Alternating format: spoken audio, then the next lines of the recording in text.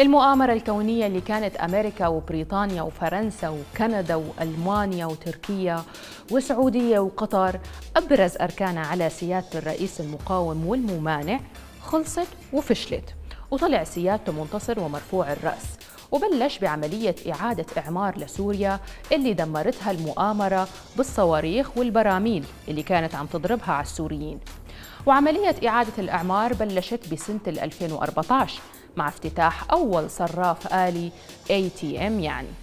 بمحافظة طرطوس وكان هالحدث العظيم بحضور ورعاية من المحافظ وقائد الشرطة وأمين فرع حزب البعث وبعض من المسؤولين.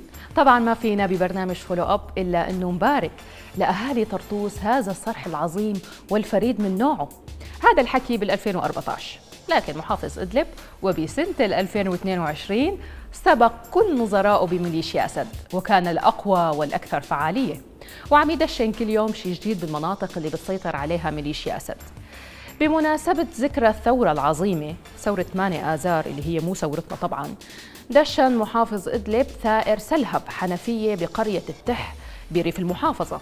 وطبعا هالتدشين كان بحضور الرفاق البعثيين والقادة وقادة الأفرع الأمنية بميليشيا أسد والموجودين بالمحافظة.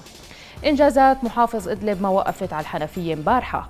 وبحضور محافظ إدلب وقادة الأفرع الأمنية الأشاوس تم افتتاح خزان كهرباء وقاطع بمدينة خان شيخون اللي بتسيطر عليها ميليشيا أسد.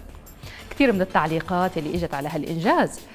وأول تعليق معنا من أنور اللي بيقول لقب جديد للسيد الرئيس بعد ألقاب الطبيب الأول والمعلم الأول والقاضي الأول الآن الكهربجي الأول.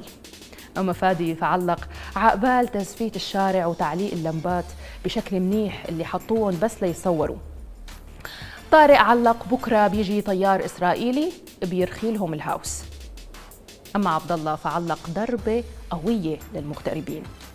رامي قال والله لو ياسر العظمة كنا قلنا عم يصوروا مرايا.